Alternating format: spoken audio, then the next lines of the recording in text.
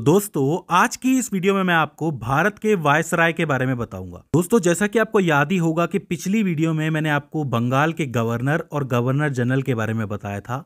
मैंने आपको उनके नाम बताए थे, उनके कार्य बताए थे, क्योंकि उनसे प्रश्न बनते हैं।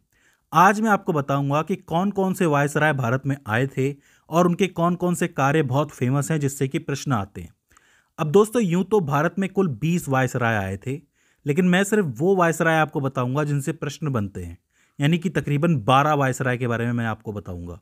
तो आपको एक एक करके उनका नाम लिखना है, उनका टाइम पीरियड लिखना है और उनके कार्य लिखने हैं जिससे कि प्रश्न बनते हैं। तो ज़्यादा देर ना करते हुए हम शुरू करते हैं। तो दोस्तों, सबसे पहले तो एक बात समझो कि अट्ठारह की जो क्रांति हुई थी, उसके बाद से अट्ठारह से वायसराय बनना शुरू हुए थे।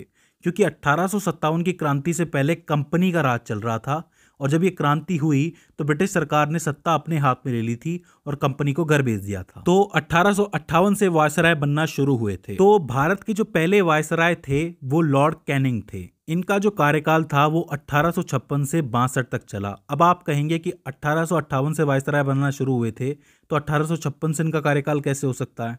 तो देखो, अठारह की क्रांति से पहले अठारह में इन्हें भारत का गवर्नर जनरल बनाया गया था। अब इसके बाद हो गई क्रांति और आ गया ताज का राज। तो फिर क्या हुआ? फिर इन्हें अट्ठारह में वायसराय बना दिया गवर्नर जनरल से। तो आप ये कह सकते हो कि भारत के आखिरी गवर्नर जनरल जो थे, वो लॉर्ड कैनिंग थे और पहले वायसराय थे, वो भी लॉर्ड कैनिंग ही थे। तो ये इनके लिए प्रश्न बनता है कि पहले वायसराय और आखिरी गवर्नर जनरल भारत के कौन थे? तो आप बता सकते हो। इसके अलावा इनके कार्यकाल में एक बड़ी चीज़ ये हुई थी कि इन्होंने आईपीसी का निर्माण किया था। जो आईपीसी का नाम आज आप सुनते हो, धाराएँ जिसके अंदर होती हैं, जिसको भारतीय दंड संहिता भी कहा जाता है, वो इन्हीं के टाइम पे तैयार की गई थी और आज तक हम इसका यूज़ कर रहे हैं।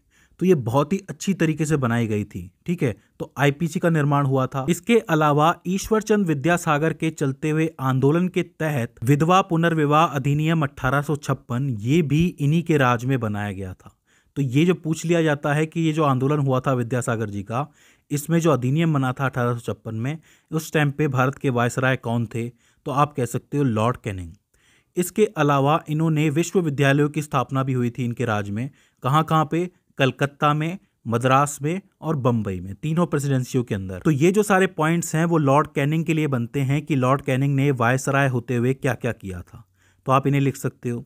इसके बाद जो दूसरे इंपॉर्टेंट वायसराय हैं, वो हैं लॉर्ड मेयो जो कि अट्ठारह से बहत्तर के बीच में थे। अब आप कहेंगे कि गैप आ गया, बासठ से सीधा उनहत्तर आ गया तो मैं सिर्फ़ इम्पोर्टेंट का नाम ले रहा हूँ, क्योंकि बाकी सब तो आपको याद करने की ज़रूरत नहीं है। तो लॉर्ड मेयो आए थे अट्ठारह में और बहत्तर तक रहे थे।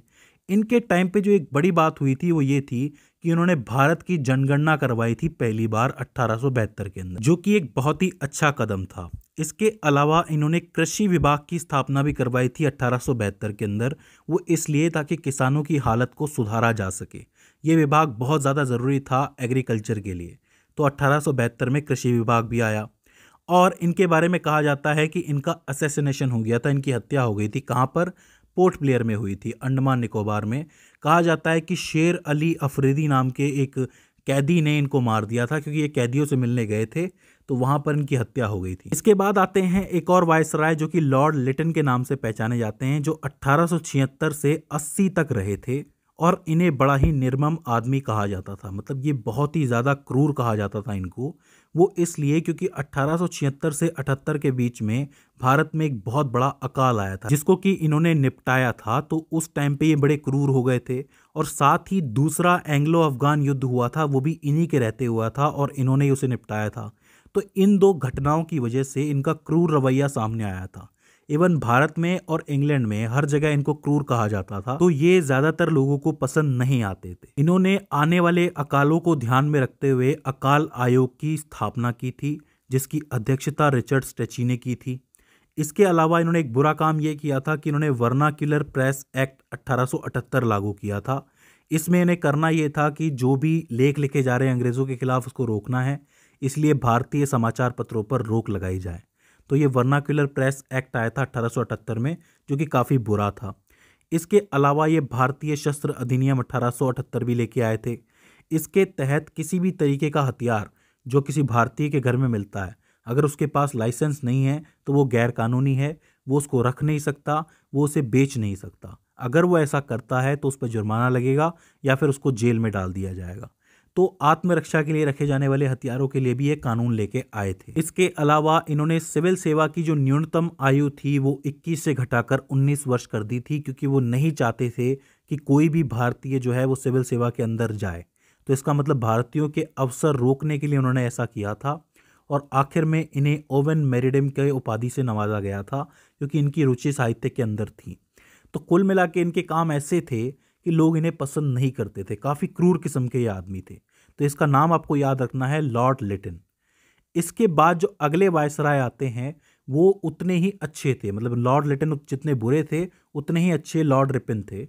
लॉर्ड रिपिन आते हैं 1880 में और अट्ठारह तक कार्य करते हैं। ये सबसे ज़्यादा लोकप्रिय वायसराय है भारत की हिस्ट्री के अंदर। क्यों? क्योंकि इन्होंने भारत का उद्धार किया है। जो फ्लोरेंस नाइटिंगल है, उन्होंने लॉर्ड रिपन को भारत का उद्धारक कहा था। वो इसलिए क्योंकि इन्होंने बहुत अच्छे काम किए थे। सबसे पहला काम तो इन्होंने ये किया था कि इन्होंने नगर पालिका की व्यवस्था की थी, ग्राम पंचायत की व्यवस्था की थी। सिंपल शब्दों में आप कह सकते हो, स्थानीय स्वशासन के जनक थे। 1881 में इन्होंने नियमित रूप से की जाने वाली जनगणना भी शुरू की थी। अगर आपको याद हो, आखिरी बार जनगणना कब हुई थी? 2011 में हुई थी। 2021 में हो नहीं पाई थी कोरोना की वजह से, लेकिन 2011 में जो हुई थी वो नियमित चलती हुई आ रही है अट्ठारह से तो इन्होंने ही जनगणना शुरू की थी नियमित रूप से। हालाँकि पहली जनगणना किसने करवाई थी? लॉर्ड मेयो ने करवाई थी। कब? अट्ठारह में, अभी बताया था मैंने आपको। लेकिन इन्होंने नियमित रूप से शुरू करवाई थी। इसके अलावा मजदूरों की हालत सुधारने के लिए इन्होंने अट्ठारह में कारखाना अधिनियम भी लाया था। जिससे उनकी हालत सुधर सके। और शिक्षा के स्तर को सुधारने के लिए अट्ठारह में इन्होंने ही हंटर एजुकेशन कमीशन लाया था, यानी कि भारतीय शिक्षा आयोग, जिसकी अध्यक्षता कौन कर रहे थे?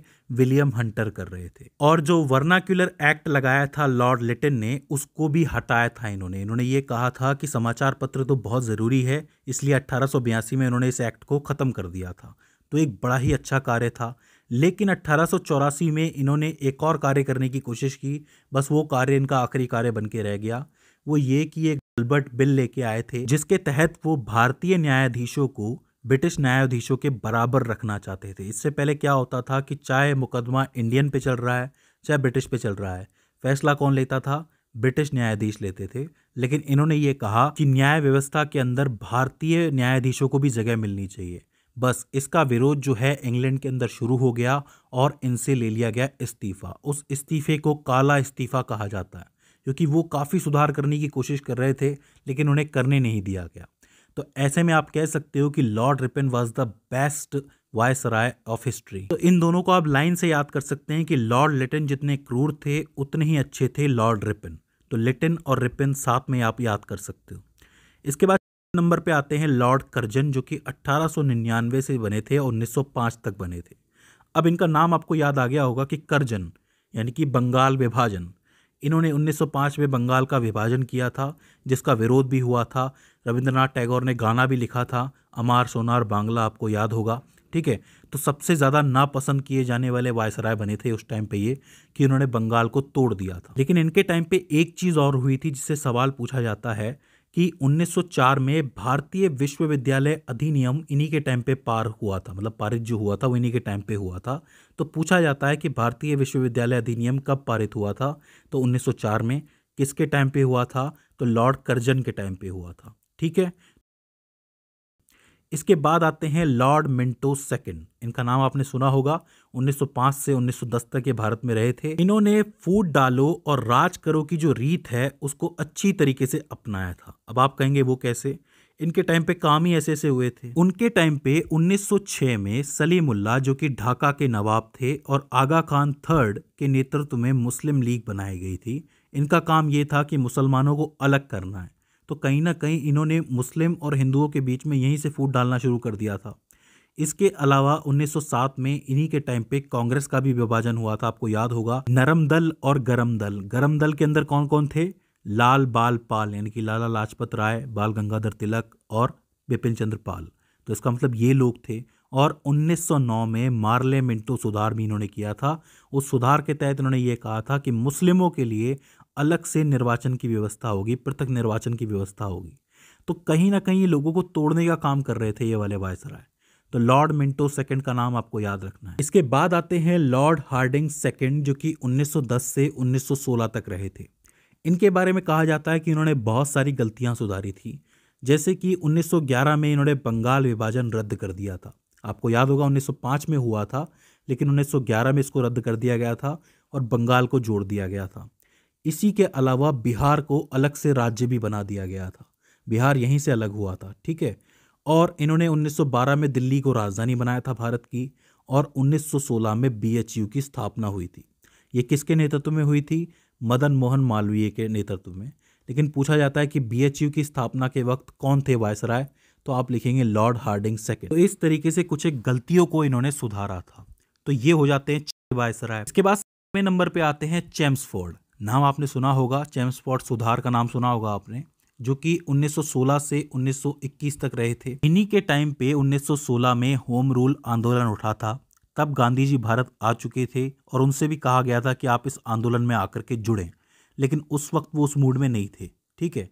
इसके अलावा इन्हीं के टाइम पे आया था रॉलेट एक्ट 1919 में, जिसके तहत कई सारे लोगों को गिरफ़्तार किया गया था। ना कोई वकील होता था, ना कोई दलील होती थी। संदेह के आधार पे जो ब्रिटिश सरकार थी, वो गिरफ़्तार करती थी लोगों को और इससे नाराज़ होकर शांतिपूर्ण विरोध करने के लिए लोग जलियावाला बाग में जमा हुए और 1919 में ही जलियावाला बाग हत्याकांड हो गया। ठीक है, ये बहुत इंपॉर्टेंट चीज़ है, पूछी जाती है और उसी 1919 में भारत के अंदर खिलाफत आंदोलन की भी शुरुआत हुई थी। क्यों हुई थी? क्योंकि तुर्की के खलीफा को उनके पद से हटा दिया गया था। इसीलिए शौकत अली और मोहम्मद अली दो भाइयों ने खिलाफत आंदोलन शुरू किया था और आगे चल के गांधी जी ने उसका नेतृत्व किया था। इसके बाद 1920 में असहयोग आंदोलन की भी शुरुआत हुई थी इन्हीं के टाइम पे। तो इनके साथ बहुत सारे पॉइंट्स जुड़े हुए हैं तो सवाल इनसे भी काफ़ी सारे बनते हैं। इसके बाद वे वायसराय आते हैं लॉर्ड इरविन, जो कि 1926 में आते हैं और 1931 तक रहते हैं। सबसे ज़्यादा सुना हुआ नाम आपका होगा क्योंकि इससे जुड़ा हुआ एक समझौता जिसको आप गांधी इरविन समझौता कहते हो। हालाँकि वो भी बताऊँगा मैं, लेकिन इनके टाइम पे सबसे पहला काम ये हुआ था कि साइमन कमीशन भारत आया था, कब? फरवरी 1928 के अंदर। इसी के तहत 1928 में नेहरू रिपोर्ट भी तैयार की गई थी, क्योंकि साइमन कमीशन जब भारत आया था तो उस कमीशन में एक भी हिंदुस्तानी नहीं था।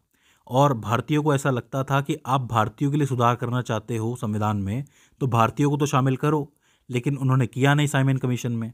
इसी वजह से ये नेहरू रिपोर्ट तैयार की भारतीयों ने।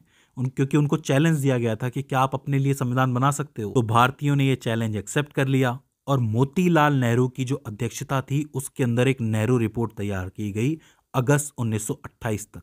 ठीक है? इसके अलावा 5 मार्च 1931 को गांधी इरविन समझौता हुआ। ये कब हुआ? सविनय अवज्ञा आंदोलन के चलते हुए हुआ था।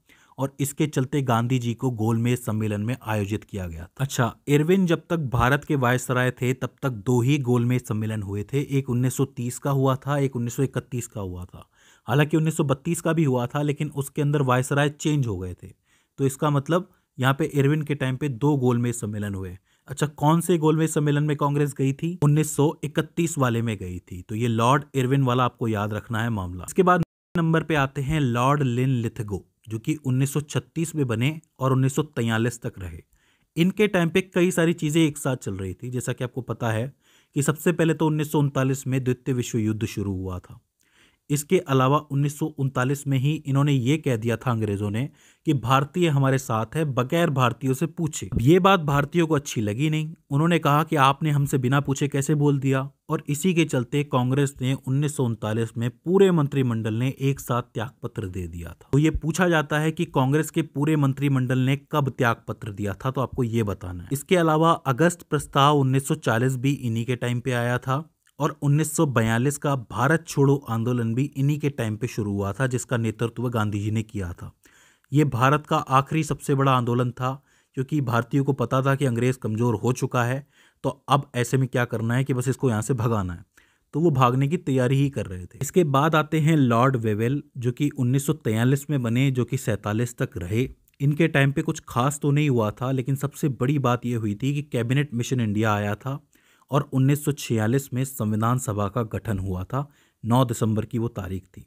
ये तारीख इसलिए इंपॉर्टेंट है क्योंकि इसी दिन से भारत का संविधान बनना शुरू हुआ था। या यूँ कह लो कि जो पहली बैठक थी वो 9 दिसंबर 1946 को हुई थी। इसके अलावा 16 अगस्त 1946 को डायरेक्ट एक्शन डे भी हुआ था, जिसके अंदर बहुत सारे हिंदुओं का कत्लेआम हुआ था, जैसा कि आपको पता है, क्योंकि ये ने किया था। डिवाइड एंड रूल का ही ये नतीजा था क्योंकि इतना बड़ा कांड हुआ था। और 1946 में आखिर में मुंबई में नौ सैनिकों का विद्रोह हुआ था। तो आप ये कह सकते हो कि लॉर्ड वेवेल के टाइम पे आखिरी कुछ एक गतिविधियाँ हुई थी।